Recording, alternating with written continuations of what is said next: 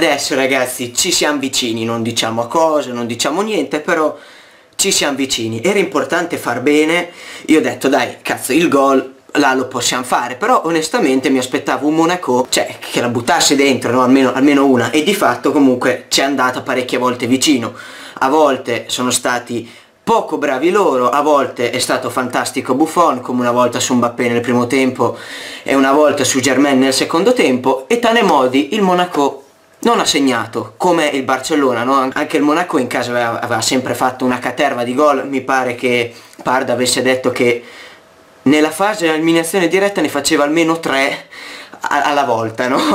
ne ha fatti 250 contro il City, ne ha fatti mi pare 6 o 7 contro il Borussia, immagino ne abbia fatti parecchi anche ai gironi perché comunque ha fatto 18.000 gol, qualcuno ne avrà fatto anche i gironi. Siamo arrivati noi e come il Barcellona, zero, niente, cartellino pulito, difesa tanto per cambiare. Spettacolare a volte giustamente il Monaco è stato pericoloso ma proprio perché sono bravi loro c'è, quel ragazzino porca troia dicembre 98 è assatanato giustamente è giovane quindi ha voglia di fare tutto però è veramente un talento. Corre ha ottimi piedi ottima visione di gioco intelligente. Se rimane umile questo diventa un, un fuoriclasse non, non, non c'è nulla da dire. È andato diverse volte vicino al gol non così eh, vicino, no? però ha creato di diverse occasioni, si è reso pericoloso diverse volte, mentre invece da noi eh, ha segnato eh, quello che in Europa eh, fa cagare, che non è mai decisivo, che, che fa schifo, no? 90 milioni solo per il campionato, una squadra come la Juve che punta alla Champions, mentre invece questo qui è il suo quinto gol eh, stagionale in Champions League, che mi pare solo una volta abbia fatto, abbia fatto meglio, mi sembra o due o tre anni fa col Napoli, in campionato è stato decisivo diverse volte, in Coppa Italia è stato decisivo grazie ai suoi gol, ha fatto andare in finale di Coppa Italia,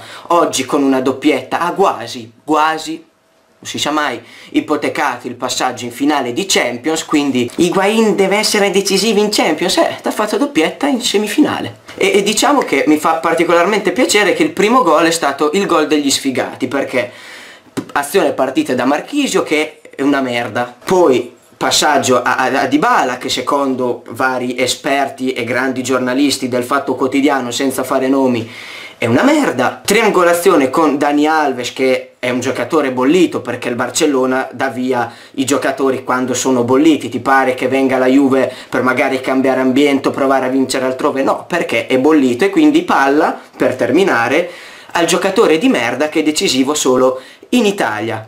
Bam tra l'altro cosa mi sembra replicata anche, anche nel secondo tempo, o meglio, quella merda di Dani Alves che secondo alcuni Juventini deve andare via dalla Juventus ha fatto altro, un altro assist per sempre quello che in Europa non segna mai. Non mi ricordo da chi parte l'azione, però di fatto l'importante è che l'abbiamo piazzata al culo. Quindi adesso tra sei giorni c'è il ritorno 0-3 e... di ragazzi, cioè se perdiamo 0-3 siamo dei coglioni, non dico che siamo in finale perché ragazzi grattatevi le palle finché non, non vi viene fuori la pelle morta, però se non ci vai diciamo che, che sei un coglione. Comunque ci tengo anche a fare i complimenti a Glick perché quando gioca contro la Juve ha sempre dato esempio di tremenda idiosia con un mix di ignoranza spaventosa, mentre invece oggi credo che non sia stato neanche ammonito. E infatti ha difeso fondamentalmente un po' così di merda, però Vabbè. Detto ciò, se stai godendo come un muflone arabo ti invito a lasciare un mi piace, scrivimi qui sotto i tuoi pareri sul match, domani live reaction, preparatevi già i fazzoletti, like, preparatevi un po' tutto, io ti mando un grosso abbraccio e tanto per cambiare, fino alla fine, forza Juve!